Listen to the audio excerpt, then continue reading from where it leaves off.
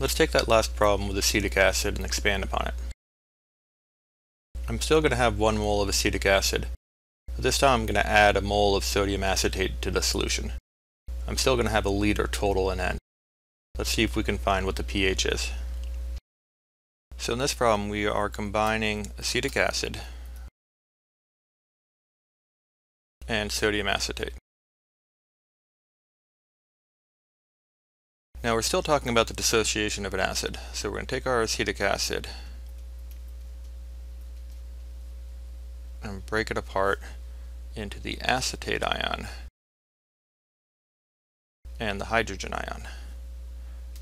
So what significance does the sodium acetate provide? The sodium acetate contains acetate. The ion is common with the ion in acetic acid.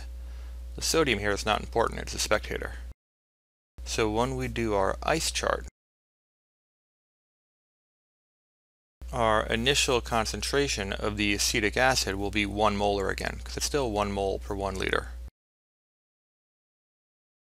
Our concentration of the acetate ion, the conjugate base, is also 1 molar because it's being provided by the sodium acetate. And initially we don't have any hydrogen ion. So if we continue through, we can say minus x plus x plus x.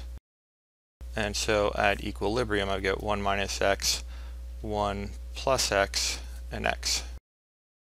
So now, if I go into my equilibrium expression, Ka for acetic acid is still 1.8 times 10 to the negative 5.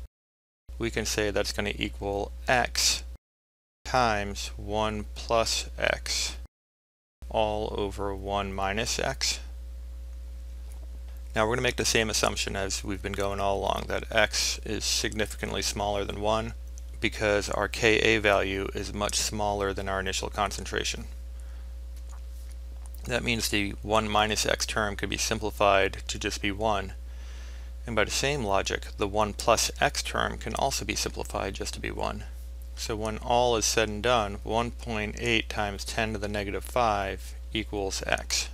Another way to say that is that the concentration of H plus equals the Ka value and yet another way to say that is that the pH equals pKa.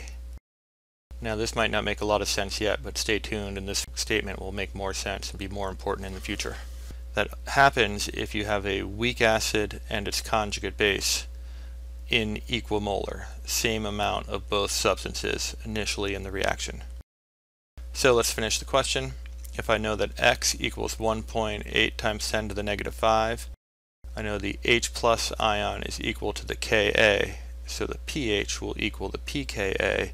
So in this case, the pH equals 4.74.